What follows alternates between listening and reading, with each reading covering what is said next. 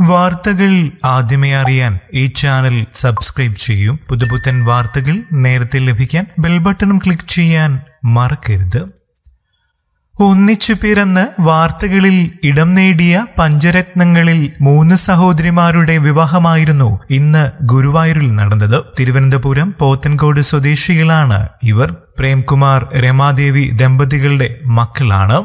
ഗുരുവായൂർ കണ്ണന് മുന്നിൽ രാവിലെ ഏഴ് നാൽപ്പത്തിയഞ്ചിനും എട്ട് മുപ്പതിനും മധ്യയുള്ള ശുഭമുഹൂർത്തത്തിൽ ഉത്തര ഉത്തര ഉത്തമ എന്നിവരുടെ വിവാഹമാണ് നടന്നത്. ഇവരുടെ സഹോദരി ഉത്തരജയുടെ വരൻ വിദേശത്തായതിനാൽ കല്യാണം പിന്നീടാണ് നടക്കുക. ഫാഷൻ ഡിസൈനറായ ഉത്തരയെ മസ്കറ്റിൽ ഹോട്ടൽ മാനേജറായ ആയുർ സ്വദേശി അജിത് കുമാറാണ് മിന്നുകെട്ടിയത്. മാധ്യമപ്രവർത്തകയായ ഉത്തരയെ മാധ്യമപ്രവർത്തകൻ തന്നെയായ കോഴിക്കോട് സ്വദേശി കെ ബി മഹേഷ് കുമാറാണ് വിവാഹം ചെയ്തത്. അനസ്തേഷ്യ ടെക്നീഷ്യൻ ഉത്തമയെ മസ്കറ്റിൽ അക്കൗണ്ടന്റായ ജി വിനീതും താലി കെട്ടി പഞ്ചരത്നത്തിലെ പൊന്നാങ്ങള ഉത്തരജൻ ചടങ്ങുകൾ നടത്തി. കൊച്ചി അമൃത മെഡിക്കൽ കോളേജിൽ അനസ്തീഷ്യ ടെക്നീഷ്യൻ ഉത്തരജടവാരൻ പത്തനംതിട്ട സ്വദേശി ആകാശ് കുവൈറ്റിൽ അനസ്തീഷ്യ ടെക്നീഷ്യൻ തന്നെയാണ്. പെൺമക്കളിൽ നാലുപേരുടെയും വിവാഹം ഒന്നിച്ചു നടത്താനായിരുന്നു ആഗ്രഹിച്ചിരുന്നത്. ആകാശിന് നാട്ടിലെത്താൻ കഴിയാത്തത് കാരണം അവരുടെ വിവാഹം മാത്രം നീട്ടിവെക്കേണ്ടി വന്നു. ഒറ്റ പ്രസവത്തിൽ ജനിച്ചവരാണ് ഈ അഞ്ചു മക്കളും. അഞ്ചു മക്കൾക്കൊപ്പം അമ്മ രമാദേവി വെള്ളിയാഴ്ച ഗുരുവായൂരിലെത്തി. സ്വർണത്തള കാണിക്കയായി നൽകി. കണ്ണന് എത്ര കൊടുത്താലും മതിയാകില്ല. കാരണം കണ്ണൻ തന്ന സമ്മാനങ്ങളാണ് തന്റെ അഞ്ചു പൊന്നോമനകളും അവരെ പോറ്റി വളർത്താനുള്ള കരുത്ത് തന്നതും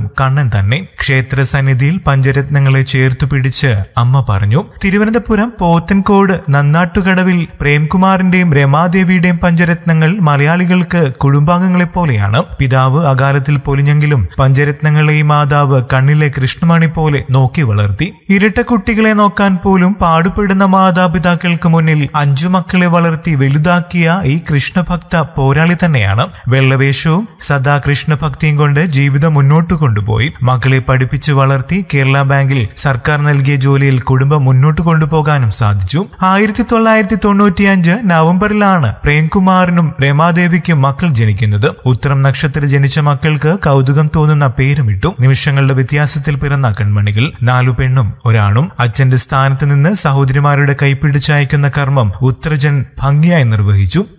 കോവിഡില്ലായിരുന്നെങ്കിൽ കേരളക്കാര കൗതുകത്തോടെ സാക്ഷ്യം വഹിക്കേണ്ട വിവാഹ മാമാങ്കം തന്നെയായിരുന്നു ഇത്. പേസ് മേക്കറിന്റെ സഹായത്തോടെയാണ് രമാദേവി ഇപ്പോഴും ജീവിക്കുന്നത്. ഭർത്താവ് മരിക്കുന്നതിന് മുൻപ് തന്നെ ഹൃദ്രോഗം രമാദേവിയെ വേട്ടയാടി തുടങ്ങിയിരുന്നു. ബാങ്കിൽ ജോലി ചെയ്യുമ്പോൾ ഉൾപ്പെടെ കോവിഡ് കാലഘട്ടത്തിലും ഏറെ വെല്ലുവിളികളിലൂടെയാണ് ജീവിതം മുന്നോട്ട് കൊണ്ടുപോയിരുന്നത്. വിവാഹ വസ്ത്രങ്ങൾ പോലും ഒരുപോലെ വേണമെന്നതായിരുന്നു അമ്മയുടെ ആഗ്രഹം. ജനിച്ചപ്പോൾ മുതൽക്കേ അഞ്ചു പേർക്കും ഒരുപോലെയാണ് വസ്ത്രങ്ങൾ തിരഞ്ഞെടുത്തിരുന്നത്. കുട്ടികൾ വളർന്നതിനു ശേഷം അവർ സ്വയം വസ്ത്രങ്ങളുടെ തിരഞ്ഞെടുപ്പ് തുടങ്ങിയെന്നും രമാദേവി പ്രതികരിച്ചിരുന്നു. കൂടുതൽ വാർത്തകൾക്കും വിശേഷങ്ങൾക്കുമായി ഈ ചാനൽ സബ്സ്ക്രൈബ് ചെയ്യാനും മറക്കില്ലേ. നന്ദി.